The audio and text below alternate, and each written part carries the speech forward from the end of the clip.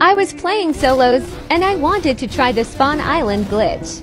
So I threw down six crash pads and speed boosted in my whiplash and it actually worked. I made it to Spawn Island and started vibing but I was going to die to Storm until I saw someone in a UFO in the distance.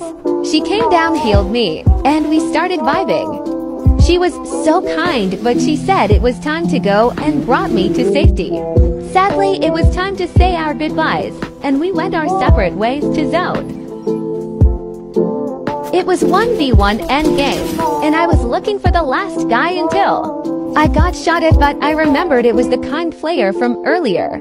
Then I saw she wanted to give me the win but I had the perfect plan. So I threw down my crash pad and saved her.